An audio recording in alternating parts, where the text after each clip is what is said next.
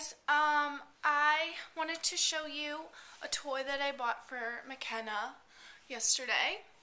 Um, it is called the, let's see here, Baby Genius Swivel and Sound Cell Phone. Um, I got it at Walmart for, um, I can't find the, the receipt, but I think I got it for like 17 16 17 dollars. Um, I know that sounds like a lot, but McKenna loves it, so I had to get it. But um, this is what it looks like, and it has a little carrier right here. Um, you can, see if I can do this with one hand. You can close it like this. When you close it, it makes that music. And then you can hard to do this. Open it, and what it has on it, it has numbers, so you can just dial. And the little picture in there lights up. I think those are the baby genius animals. Um, and then all around here is music. This one right here, McKenna loves. Here, let me see if she'll do it.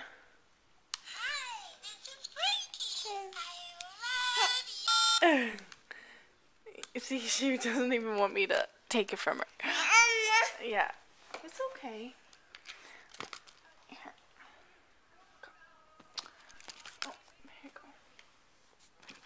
So that was one of them. This is here's the top one. Hello, is Frankie there?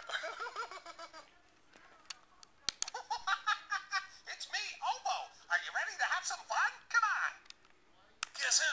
It's me, Stay cool. Hello, it's me, Finko the Dancing Bear.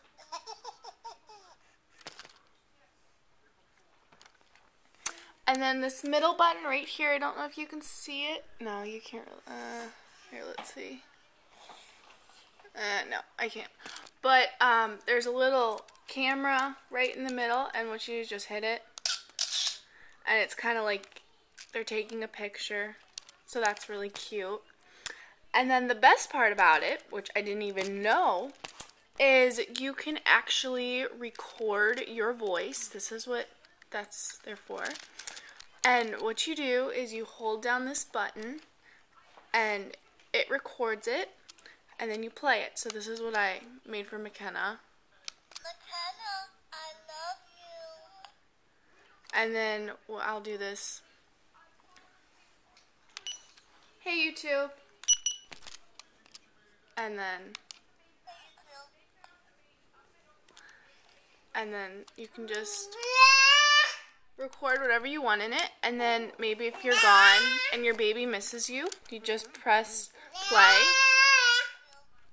And there you go. So i would recommend this toy. Um but my cell phone is ringing so i have to go. So if you have any questions just message me. So have a good day. Bye